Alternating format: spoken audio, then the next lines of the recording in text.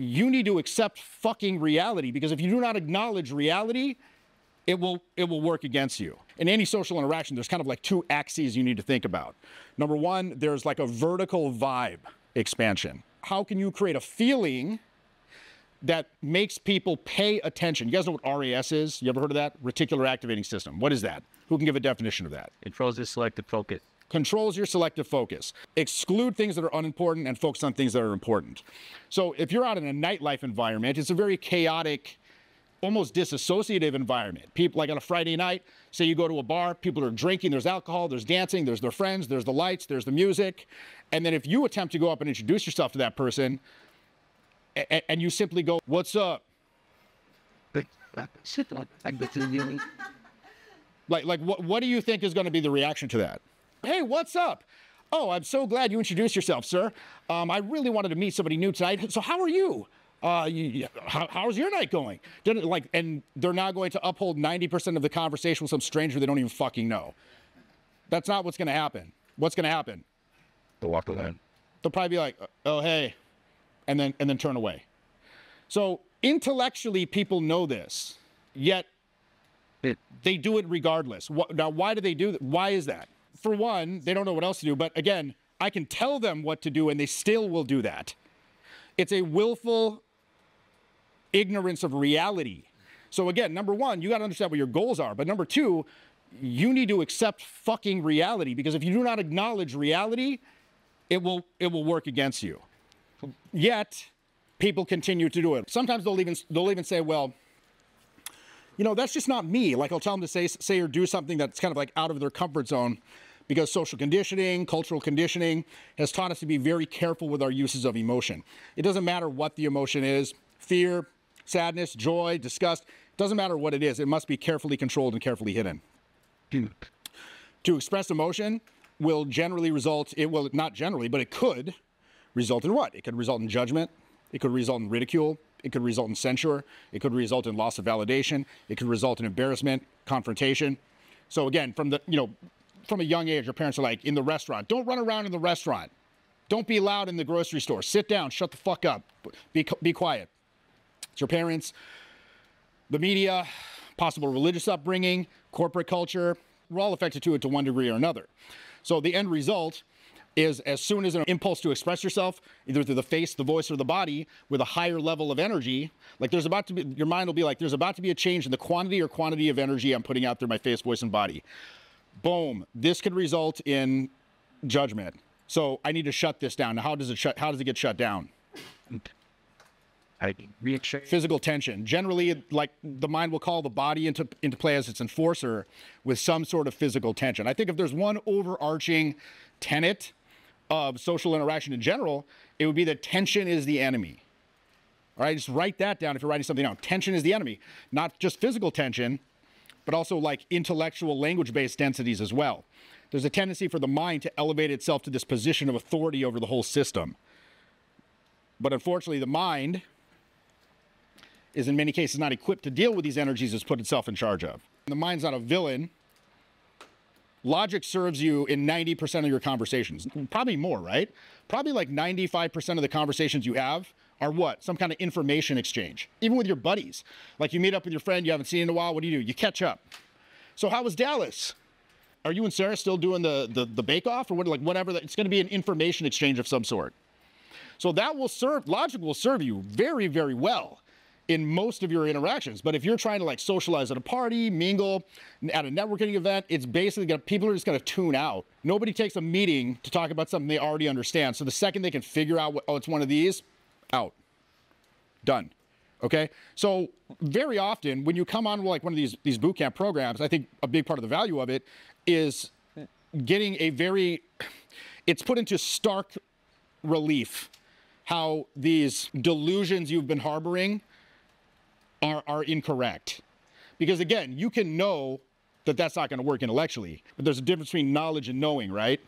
It's quite another to go up and do it and see the looks of disdain, eh, well, not even disdain, see like the complete lack of interest and feel the emotions flooding your body as they turn away. Like it, that's quite another. That's a very visceral thing as opposed to this academic, you know, this this intellectual exercise of knowing it's not going to work.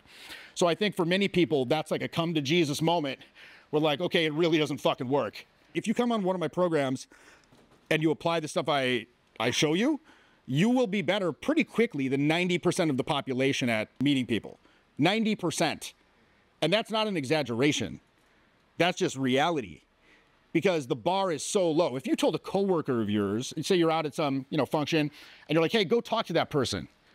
What's the likelihood they're going to do it? It's it's almost neg- it's negligible. They they will have to be browbeaten, cajoled, pushed, ridiculed, maybe fed alcohol and and you know until they finally do it. Yeah. They will be petrified, utterly petrified because there's like a deep there's some sort of deep-seated thing in, in the midbrain that's like, yo, th- this could result like humiliation equals death. Social humiliation equals death.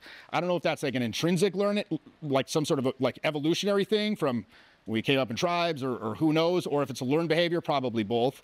But from our understanding of the brain, once like some sort of fear or anxiety trigger has been installed in the amygdala, it is indelible. It cannot be erased, which is a good thing from an evolutionary perspective because why? You don't have to keep learning not to touch the stove but not such a good thing when the so-called danger is arbitrarily related to reality. Because, you know, if some person you didn't know existed two minutes ago doesn't like your shirt or your your your sense of humor, what is like the quantifiable effect on your day-to-day life experience from that? Zero. In fact, it's probably negative zero. Because it's in, it's improving your life experience because the more data points that you gather when it comes to meeting people, the more you're going to be able to extrapolate various patterns that are, you know, going to see the patterns emerge, and you're going to start to gain references. Like number one, I can, I can, you're going to change your relationship with the uncertainty. For one, number two, you're going to start to learn. Okay, this this kind of approach tends to work better. This kind of approach people don't respond to very well. Discard that. Move towards this. Right. You'll also learn to find internal reasons, internal validations to behave in the ways that would get better results. Because a lot of times I'll tell people, you know, behave in this way. They're like, but that's not me. I, I wouldn't do that. Well, it's kind of like going to a boxing gym and they're like, okay, we're to do some, some light work here. Okay, keep your hands up. Oh, that's not me. Should I, I'm not. I'm not the kind of person that keeps his hands up by his face. Okay, well, here we go, and you're going to get the dog shit kicked out of you. Like it, it's simply what's going to happen. You're going to have an, an unpleasant experience, and you're going to continue to have an unpleasant experience again and again and again and again and again and again until you find some internal reason to. Pe- Why would I put my hands up? Right? Why would I go up and express with higher energy? Why would I allow intuitive impulses to take over and stop being so logical and just free flow? Why would I start to say this, that, or the next thing? So, again, number one, you got to quantify the results you want. Number two, you have to come to grips with the fact that there will be additional demands placed upon your communication system in, in pursuit of those goals. And so you're going to have to change the way you communicate. And, it's, and you're going to have to kind of roll around with these energies that you may be not super comfortable with. How many people in here have engaged with like YouTube videos about this kind of stuff for many years and simultaneously don't really apply it? It happens a lot. Like I, I got a guy on, on the program uh, last week in Las Vegas, and he says, "You know, I've been watching you guys for 10 years, but I, I haven't really gone. I don't really go out. It's kind of like um, watching like the UFC. Like I watch UFC. I've been a fan of the UFC for, since the the mid 2000s. Now I can fight. It's like no, you, you're, not gonna, You cannot fight. You'd be like, oh, that's a Kimura. That's a da, da, da." like you might be able to pick out certain things, but once you actually attempt to physically enact, it, you, you're going to be fucked. It's like learn. It's like reading about downhill skiing or something. You can't read about it. You must roll around with the energies, these uses that you fear, and you must, again, familiarize your, yourself with them in four dimensional meat space. That's the only way to get better. My life literally changed applying what I've learned and going through this process. I went from, yeah, scarcity mindset to like, I can't stop getting laid. and never, things happened to me that I never would have thought were possible. And it's just the beginning. It's just the beginning. I also, you know, have so much more awareness of everything now. and make a change or a correction.